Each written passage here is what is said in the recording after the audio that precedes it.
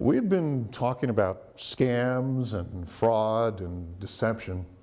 There's a famous book that some people claim is filled with deception, contradictions, myth, and fiction.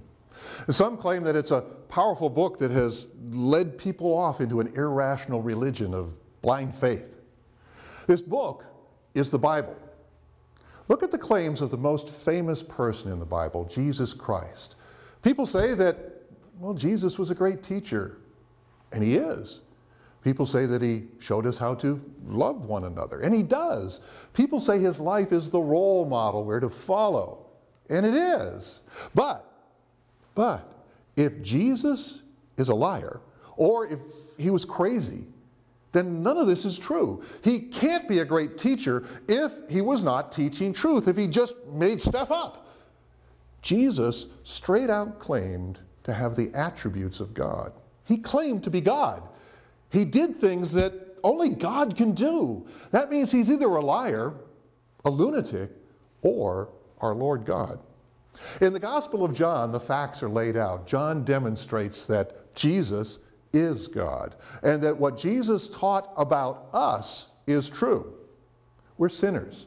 That means we've broken God's laws. And you know what? Our conscience tells us that that is true. The question isn't, have you ever told a lie? It is, how many lies have you told?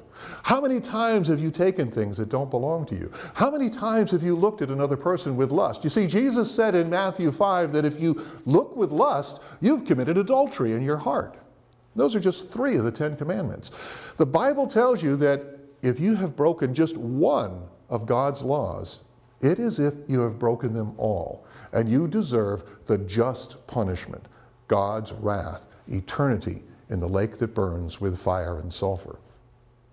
But God so loved the world, God so loved you, that he gave his only son. Christ died on the cross. You see, the penalty for disobeying God is the death penalty. But Christ died on the cross, taking the full punishment for all that you've done wrong. In every way that you've disobeyed God, Christ took that punishment on himself. And he did this as a free gift for you. Now, if it's a gift, you have to accept the gift and believe that he's really given you this gift.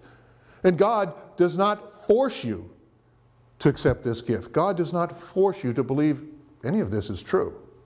But if you truly trust Jesus Christ, if you truly trust that He paid the penalty you owe for disobeying God, that you owe for everything you've done wrong, if you believe Jesus Christ paid the penalty you earned and you repent, which means to turn away from disobeying God and make Him your boss, your Lord, then you get all of this as a free gift. And to prove this is true, Jesus Christ not only died, and there's no doubt that he was dead. The Romans were experts at this. Jesus was dead. He was buried. And then to prove that everything he promised is true, on the third day, he rose from the dead, showing you, proving to you, demonstrating that everything, everything he said was true. And there truly is life after death. Life that you can have if you trust that Jesus fully paid your death penalty, that he died in your place so you can live.